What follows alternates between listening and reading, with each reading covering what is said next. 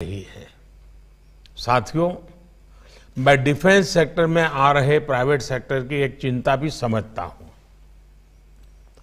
अर्थव्यवस्था के अन्य सेक्टर्स के मुकाबले डिफेंस सेक्टर में सरकार का दखल कई गुना ज़्यादा है।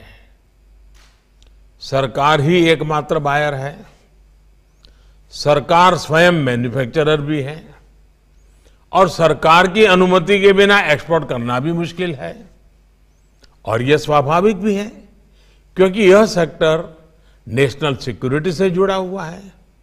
लेकिन साथ ही प्राइवेट सेक्टर की साझेदारी के बिना 21वीं सदी का डिफेंस मैन्युफैक्चरिंग इकोसिस्टम खड़ा नहीं हो सकता, यह भी मैं तो भली भांति समझता हूँ। और अब सरकार के सभी अंग भी समझ रहे हैं।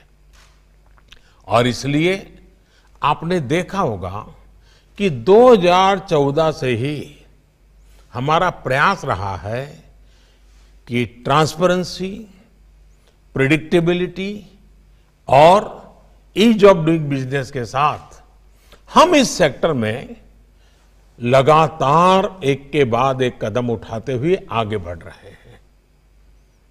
Delicensing deregulation export promotion foreign investment liberalisation ऐसे अनेक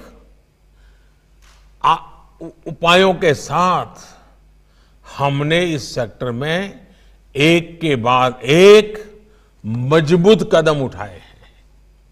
और मैं ये भी कहूँगा कि मुझे इन सारे प्रयासों के लिए सबसे ज़्यादा सहयोग, सबसे ज़्यादा मदद यूनिफॉर्म फोर्सेस की लीडरशिप से मिली है।